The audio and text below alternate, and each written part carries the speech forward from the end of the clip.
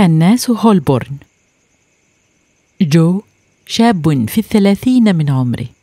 مديد القامة هزيل البدن طويل العنق. دميم الخلقة ضيق الجبهة. ضاقت سبل الارتزاق في وجهه. فلم يجد حرفة يكتسب منها قوته غير الكنس في حي هولبورن بلندن. كان يخرج من منزله مبكرا وقد حمل على كتفه مكنسة ومكتلا. ومرا يزيل به الثلوج والأوحال المتراكمة على سطح الأرض. كان لا ينفك يعمل صيفا وشتاء لا يثنيه عن ذلك شدة القر ولا انهمار المطر ولا تساقط الصقيع حياة مرة قاسية تلك التي كان يحياها جو. فهو على الدوام رديء البزه قذر الملابس خاوي البطن. يسمع مر الشتائم من الناس جميعا على السواء. إن قدم له بعض الأغنياء شيئا من فضلات موائدهم التهمه في شراهة ونهم شاكرا لهم فضلهم وإحسانهم من غير أن يعرف أن ذلك أقل ما يجب عليهم نحوه. لقد ألفت نفسه الضاعة واعتادت عدم الاكتراث لما يناله من ذل وتحقير. نشأ فقيرا معدما لا يعرف له ابا ولا اما هو ابن السبيل. نشأ فيه وتربى بين شوارعه وحاراته. وجد الناس ينادونه باسم جو وهو لا يعرف اسم ذلك الوالد الذي أرسله ليشقى في هذه الحياة. ولا اسم الأسرة التي ينتمي إليها. لم يذهب إلى المدرسة ولم يتعلم القراءة والكتابة ولم يستطع تهجية اسمه. ولكنه كان يعرف شيئا واحدا هو الصدق فضيلة والكذب رذيلة. ولذا كان يقول الحق دائما ويتمسك بالحق ولا يعرف إلا الحق. وكان مع هذا يعرف شيئا آخر هو الجوع. فقد جاع كثيرا وقاسى آلام الجوع وعرف معنى الجوع وأعراضه ودواءه. كان جو يسكن في حي توم أول أولونز وهي ناحية قذرة تتراكم فيها الفضلات التي تنبعث منها الروائح الكريهة. وشوارعها ضيقة متعرجة يكثر فيها الطين والوحل. منازلها قديمة متداعية. لا منفذ فيها لضياء ولا مسرى لهواء. قد يبلغ عدد سكان الحجرة الواحدة عشرة ينامون جنبا إلى جنب بأجر تافه يدفعونه آخر كل أسبوع. وكان لا يسكن في ذلك الحي إلا أفقر الطبقات من فقراء لندن. تغطي أجسامهم أسمال تصف الشقاء. ملابسهم لا تقيهم نافح البرد ولا وابل المطر. لم يكن جو مجهولا لدى سكان ذلك الحي. فما من رجل أو سيدة أو طفل يستطيع أن يقول إن جو لم يقدم لي خدمة أو إنه لم يقم لي بعمل من الأعمال. وقد اعتاد أهل ذلك الحي أن يلقبوا كل ساكن فيه بلقب ينادى به ولا يمت إلى اسمه بصلة. فإذا سألت عن جو مثلا قيل لك أتقصد كاروتس أم الكولونيل؟ أم الجالوز؟ أم في إحدى الليالي القارصة البرد وقف جو في الشارع تحت أحد المصابيح وقد اتكأ على المر ووضع المكتل تحت قدميه ليقيه البرد وأسند المكنسة إلى الجدار وأخذ يفكر في من يقصده من سكان الحي مستجديا. وبين هو كذلك إذ رأى شخصا يدنو منه ويتفرس في وجهه ثم يقول له ما لي أراك زائغ البصر؟ فيما تفكر. إخال أنك محموم أو جائع؟ مضت عليك أيام بل أسابيع لم تتناول ما تمسك به رمقك. دونك تلك القطعة الفضية. أسرع إلى أقرب مطعم ولكن قبل أن تنطلق عرفني من أنت. هل لك صديق في هذه الحياة؟ فقال وقد فغر فاه داهشا. إنني جو. ليس لي صديق. أيمكن أن يجد فقير معدم مثلي صديقا؟ ألا تتخذ مني صديقا؟ إنني مثلك وحيد لا صديق لي. تصافح الرجلان ومضى هذا ليشبع جوعته وانطلق ذاك إلى كوخه الذي يعيش فيه مزهوا مسرورا. إنه قد وجد الصديق. لم يكن هذا الرجل أحسن حالا من جو فقد كان ممزق الثياب. أشعث. اغبر يعيش مما يكسبه من صنع بعض اللعب الساذجة التي يبيعها لأبناء الفقراء بأتفه الأثمان. وقد يمر عليه اليوم إثر اليوم وهو يعرض سلعته على الأطفال ولا يجد بينهم من يحمل في جيبه درهما يشتري به إحدى اللعب. كانا يلتقيان كل يوم فيتحدثان طويلا ويقص كل منهما على صاحبه ما لقاه في يومه. حتى إذا ما حان وقت النوم انصرف بعد أن يدس ذلك الرجل في يد جو قطعة أو قطعتين من البرونز. إذ كان معه نقود وإلا اعتذر له عن عدمه بقوله إننا اليوم في الفقر سواء يا جو. ثم يمضي وهو دامع العين. لقد شاءت الأقدار أن تفرق بين الصديقين اللذين تعارفا على غير موعد فقد ضم أحدهما القبر. من غير أن يسير إلى جواره غير صديقه وبقي جو ليندب حظه العاثر وليبكي بدمعه المنهمر ذلك الصديق المحسن. كان جو يعمل قبيل الغروب فجاءه شرطي وأمره بأن يتبعه إلى دار الشرطة. ولما مثل بين يدي الموظف المختص سأله عما يعرف عن الميت فقص عليه ودموعه تنهمر غزيرة من مآقيه. كل ما عرفه عنه من نبل وشهامة وفضل وذكر له كل ما سمعه منه خاصا بأهله ونشأته. ولما انصرف من تلك الدار ولما انصرف من تلك الدار وجد في جيبه شلنين فوقع في حيرة من أمره وأخذ يسائل نفسه أن لك ذلك المبلغ الكبير أن لك ذلك المبلغ الكبير وكيف وصل إلى جيبك؟ ولم يدري أن محسنا كان يرى بكاءه ويستمع لحديثه. فأخذته الشفقة عليه فأسقط ذلك المبلغ في جيبه وهو خارج من دار الشرطة. لقد كان جو وفيا لصديقه بعد مماته كما كان مخلصا له في حياته. ففي كل يوم يذهب إلى قبره فيكنس ما حوله ويبلل التراب بدمعه الغزير ويناجيه بألوان من الذكرى المؤثره في عبارات عميقة. ويدعو الله أن يسكنه فسيح جناته. ثم ينطلق إلى عمله. وهو يرتقب اليوم الذي يجتمع فيه بصديقه في تلك الدار التي لا يعرف فيها المرء ذلا ولا هوانا. بعد بضعة أيام من موت ذلك الصديق قصدت سيدة تلبس السواد جو. ورجته أن يدلها على المقبرة التي دفن فيها صديقه. ثم قدمت له قطعة مستديرة صفراء ذات بريق أخاذ فردها إليها.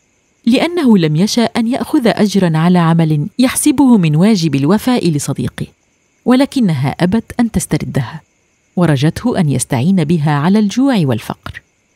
سار جو أمام سيدتي مشغول الفكر بتلك القطعة الصفراء التي منحها. لقد حسبها أول الأمر قطعة نحاسية ولكنه وجد أنها لا تمت إلى النحاس بصلة. ألا يمكن أن تكون الجنيه الذهب؟ الذي تمتلئ بأمثاله جيوب السادة الأغنياء. بلى إنه جنيه من الذهب. ثم سار حتى وصل إلى المقبرة. وهناك جاثت السيدة أمام القبر وأخذت تصلي وتدعو بينما كانت دموعها تتساقط غزيرة من مآقيها. إنها سيدة يبدو عليها الوقار تزين أصابعها بخواتم رصعت بالأحجار النفيسة. إنها تبكي ذلك الفقير الذي طواه الردى في تلك الحفرة. ولم تبكيه أتراها كانت تحبه إن صح ذلك فلماذا لم تقدم له في حياته يد المساعدة؟ ولم تنقذه من تلك الحياة اللاغبة التي كان يحياها في خصاصة وإقلال. لا إن عاطفة أرقى وأنبل من عاطفة الشفقة هي التي تسقط دموعها. من يدري؟ لعلها صديقة أو قريبة. فرقت بينها وبينه عوادي الزمن وحوادث الأيام.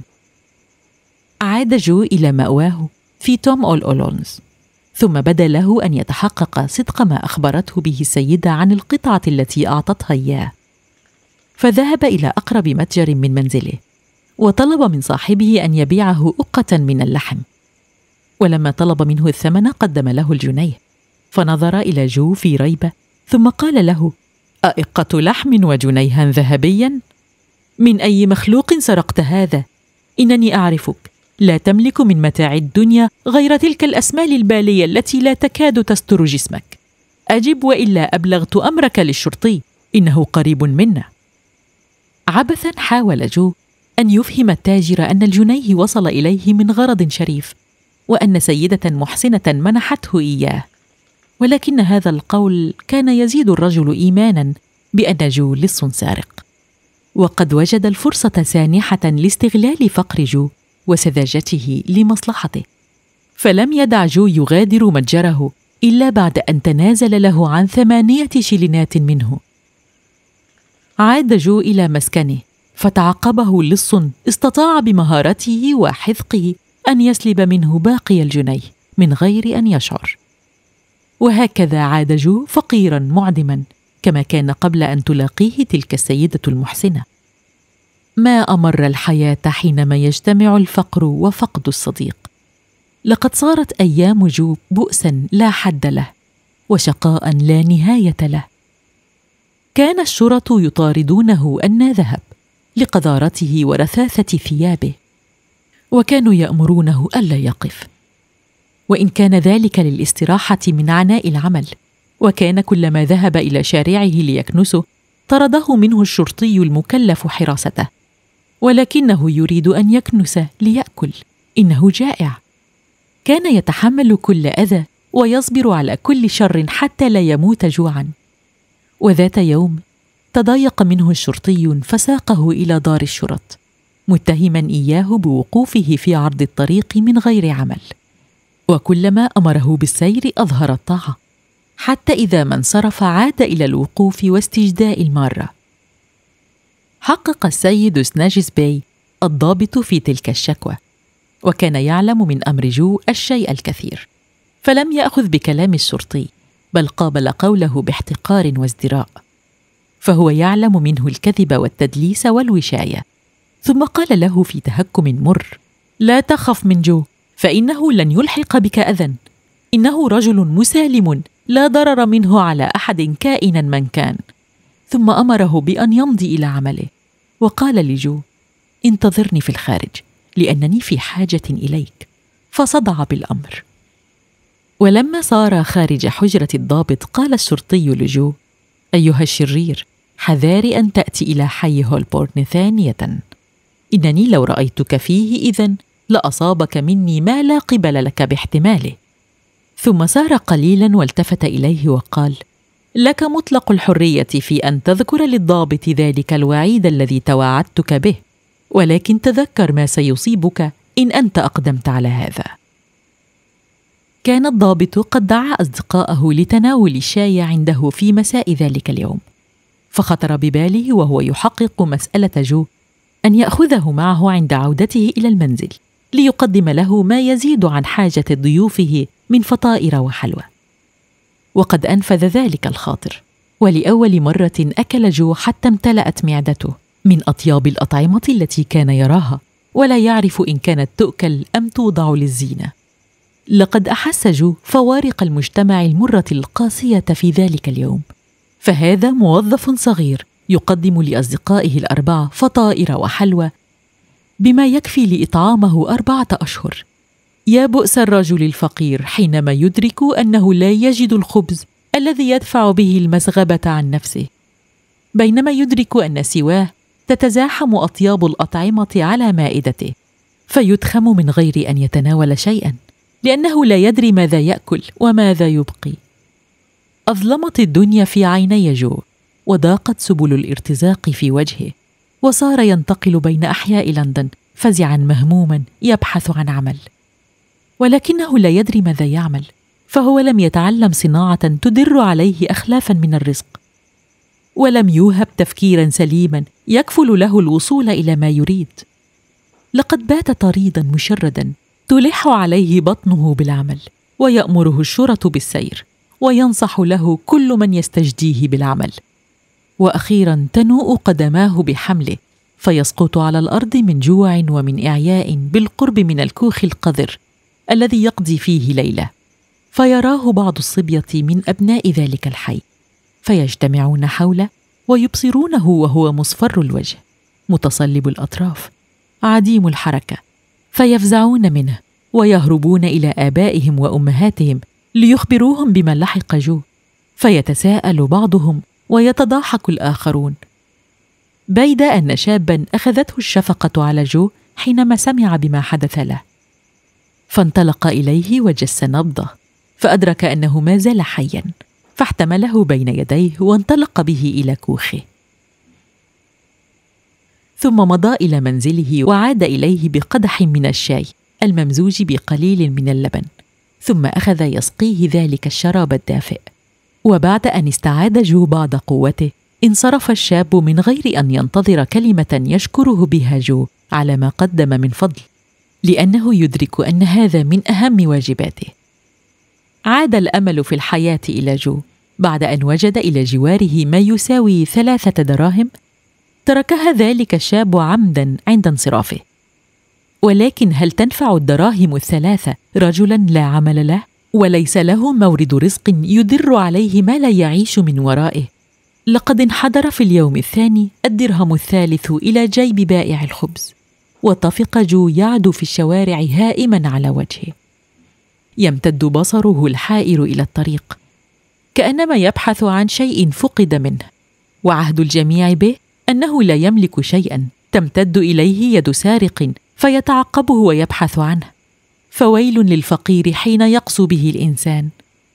إن جو في الحق يبحث عن عقله الذي ضيعه الفقر وألم الجوع واجتماع الهموم وسوء الحظ. عرف جو من قبل عجوزا فقيره فكان يقوم لها بقضاء ما تحتاج إليه نظير أجر تافه. هو بعض لقيمات مما تعافه نفسها وكان يدرك أن تلك المرأة أحسن منه حالا. فإن هناك سيدة محسنة تزورها الفينة بعد الفينة وتترك لها بعض المال لتستعين به على الحياة. وبينما كان سائرا في طريقه يعدو إذ أبصر تلك العجوز تسير على ثلاث محدودبة الظهر فما إن رأته على حاله هذه حتى نادته فأقبل عليها وقال إنني جائع. فألقت إليه لقمة فالتهمها ثم سقط على الأرض وهو يرتعد من شدة البرد. وبينما كانت العجوز تفكر فيما تفعل لذلك التائه المسكين جاءت السيدة المحسنه لزيارتها وأبصرت جو على حاله هذه فأمرت خادمها باستدعاء الحوذي وكلفته أن يحمله إلى مركبتها وينطلق إلى المنزل بعد أن يعرج على طبيبها الخاص ليسعف المسكين بالعلاج فأسعفه الطبيب ثم أخذ إلى قصر تلك السيدة الكريمة. فتح جو عينيه فألفى نفسه ينام في فراش وثير في حجرة مضاءة وإلى جواره وعاء مملوء بالحساء. فحسب نفسه في حلم فجس أعضاءه حتى اقتنع بأنه في حقيقة لا في خيال ولا حلم فتجرع الحساء عن آخره. ثم أدرك أنه لن يستطيع البقاء في ذلك الجو الذي لم يخلق لمثله فغادر الفراش وانطلق يعدو إلى الشارع. ولم يدر ما حل به. غير أنه وجد نفسه بعد أيام في إحدى المصحات يعالج من حمى شديدة أصابته في الأمعاء وكادت تقضي عليه. وقبل أن يتم برؤه لفظه المستشفى فاحتضنته الشوارع يذرعها كما كان يفعل من قبل. وأبصر به طبيب سائر في الطريق وأدرك أنه مريض فأقبل عليه وجس نبضه ثم مد إليه يده ليتوكأ عليها. وطلب منه أن يتبعه إلى داره وهناك أمر خادمه أن يهيئ الحمام لذلك المسكين ليغتسل. ويعد له ثيابا نظيفة ففعل وبات جو ليلته هادئا مستريحا. وبعد أيام كان الطبيب جالسا بالقرب من سرير جو فقام هذا من فراشه وهو في شدة المرض وحاول مغادرة الفراش. فقال له الطبيب ابق في مكانك ماذا تريد؟ فقال جو إنني أريد الذهاب إلى المقبرة. إنني أريد اللحاق بصديقي الذي جمعتني به أواصر المحبة والوفاء. إنني أتوق لرؤيته وأريد أن أنام بجواره. لقد مضى على فراقنا أمد طويل وكان من الواجب ألا نفترق. لقد استراح وخلفني لأشقى. إنني أعيش هنا وحيدا وهو يعيش هناك وحيدا. فيجب أن نجتمع ليستأنس كل منا بصاحبه. فقال الطبيب لجو نم وستكون إلى جواره في الوقت الملائم. فقال له أتعدني بدفني معه فقال الطبيب لك علي هذا. فقال جو سيدي هناك بقعة طاهرة من الأرض. أعتدت أن أنظفها وأنثر الرياحين فوق أرضها. وأروي جدثها بدموعي. آه إن الدنيا مظلمة في عيني. أين النور؟ أين هو؟ قال الطبيب. إن النور آت سريعا. ثم ساد الصمت وخيمت على المكان الرهبة والسكون. ثم قال الطبيب لجو. جو. جو. كيف أنت أيها المسكين؟ فقال جو. إنني هنا أسمعك. الطبيب أتستطيع أن تردد ما أقول؟ جو نعم نعم. إنني وسط الظلام الدامس. أحس عطفك وأدرك رعايتك. الطبيب قل الله. جو نعم نعم. الله القادر على كل شيء يا سيدي. الطبيب الله مالك السماوات والأرض. جو الله مالك السماوات والأرض. أين النور يا سيدي؟ الطبيب. النور قريب جدا والبقاء لله. أمسك الطبيب عن الكلام وصمت جو إلى الأبد. لقد أسبغ عليه النور نعيمة. لقد انتقل من عالم الشرور والآثام. لقد ودع تلك الحياة الفانية وهو يفكر في رحمة ربه التي وسعت كل شيء. وفي ذلك الصديق المخلص الذي سيلقاه عما قريب. وفي هذا الطبيب الذي لم يشأ أن يتركه ليودع العالم وهو حاقد ناقم على جميع بنيه.